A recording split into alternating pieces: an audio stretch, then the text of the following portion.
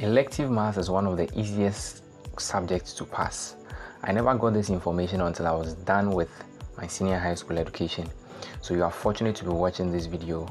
Now, aside the compulsory questions you have to answer, they are the optional questions, and all you have to do is to master certain topics and get your grade A. So with the optional questions, you have pure mathematics, and with the pure mathematics, you have matrices. Matrices. Then we move on to trigonometry.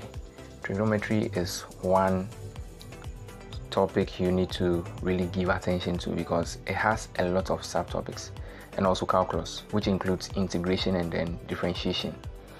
It's one of the topics that is very interesting in mathematics, combines a lot of topics, ideas, and thinking. Secondly, coordinate geometry 2, which has to do with circles. Then we move on to functions. So relation and functions. Then statistics and probability. Under statistics and probability, you have correlation and regression.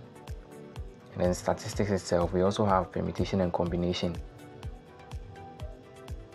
So under vectors and mechanics, you have statics and dynamics. And then you have the scalar dot product as well. You know the questions that are asked are the optional part. For the statistics and probability, you are sure to always have a question on statistics. Then for the vectors and mechanics, one question is on mechanics, another question is also on vectors. So all you have to do if you think you don't have the luxury of time is to master one of both. Make sure you are very good at solve a lot of past questions and you are good to go.